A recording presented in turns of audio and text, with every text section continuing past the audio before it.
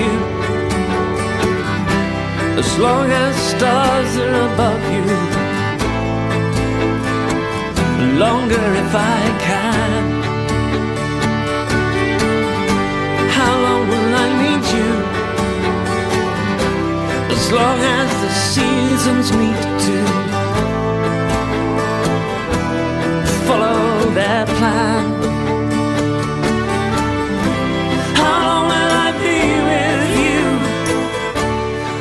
Peter Charles Blackie, take you Be my husband. I promise to be faithful to you, in good times and in bad, in sickness and in health, to love you and honour you all the days of my life. need to. And long goodbye far. Kerry has always been very special to me.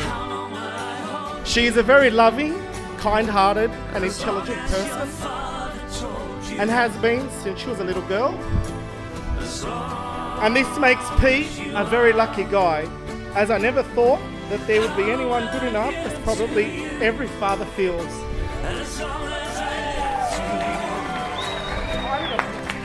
We don't need to prepare because it's very easy to describe what an amazing older sister we have.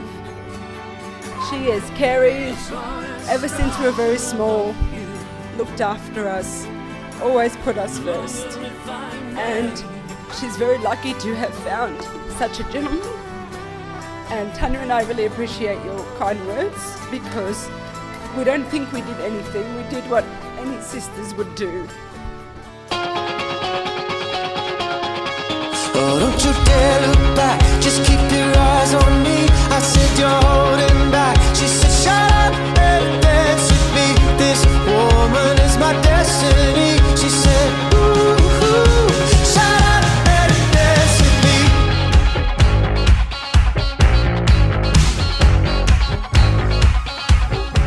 I know I told you earlier on in the church, but you do look beautiful.